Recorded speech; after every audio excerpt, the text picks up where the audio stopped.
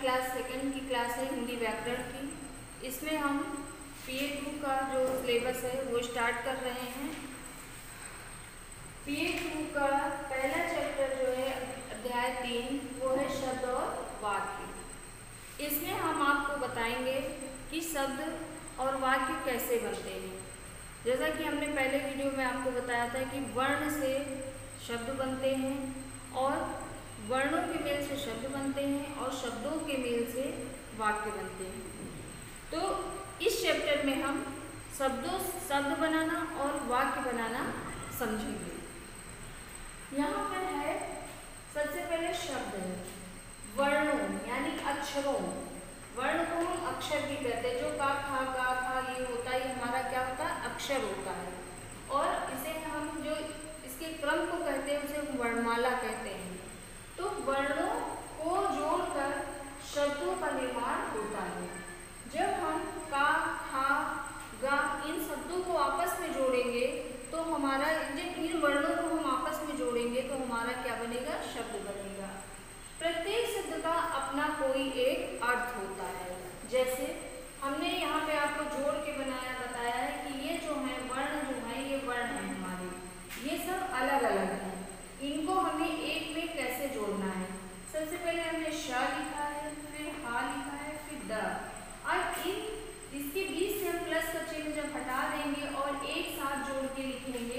तो शब्द बनेगा? शहद। शहद एक सार्थक शब्द है, क्योंकि इसका अपना एक अर्थ है। इसी तरह हमने लिखा है शा प्लस हा प्लस रा।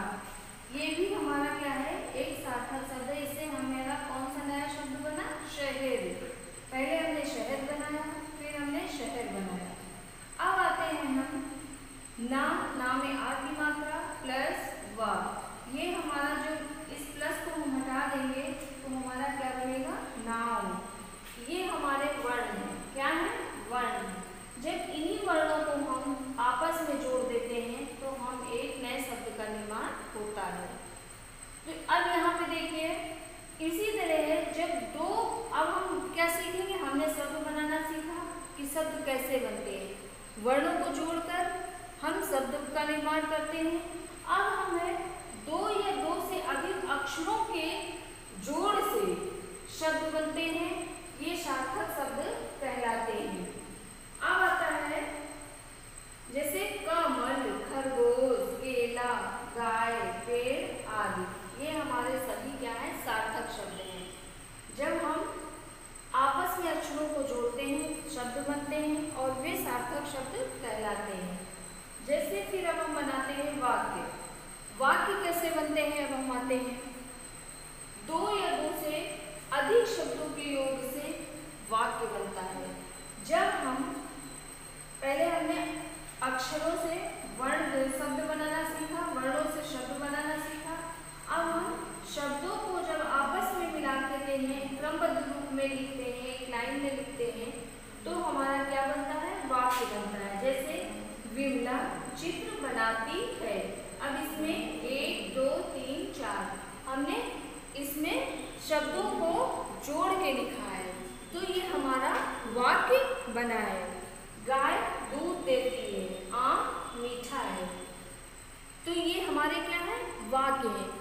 सबसे पहले याद रखिएगा, वर्णों को जोड़कर शब्दों का निर्माण होता है वर्णों को जोड़कर शब्दों का निर्माण होता है इसमें दो या दो से अधिक अक्षरों को जोड़ से शब्द बनाए जाते हैं और दो या उससे अधिक शब्दों को योग से या जोड़कर हम वाक्य बनाते हैं शब्द तथा वाक्य क्या होते हैं सार्थक होते हैं ये हमारे सार्थक शब्द हैं इनका अपना कोई न कोई अर्थ है अब इसी तरह देखिए आपकी जैसे एक्सरसाइज है शब्द बनते हैं, शब्द किससे बनते हैं? शब्द किससे बनते हैं? वर्णों से। किससे बनते हैं? वर्णों से। और वाक्य बनते हैं? शब्दों से। सार्थक शब्द है मेष या गलत गलत हमारा क्या गलत हुआ। इसका कोई अर्थ नहीं है। इसलिए ये निरर्थक शब्द है। सार्थक शब्द क्या है? मेज मेज हमारा सार्थक शब्द है। इसका अपना एक अर्थ है। तो ये हमारा जो चैप्टर का बच्चों, पूरा हुआ और इस चैप्टर को ध्यान से पढ़ना, समझना और फिर बाद में इसकी एक्सरसाइज अपने आप सॉल्व करने की कोशिश करना। उसके बाद में जब हम सॉल्व एक्सरसाइज आपको भेजेंगे, उसे मैच करके फिर आप अपना काम पूरा करना। धन्यवाद।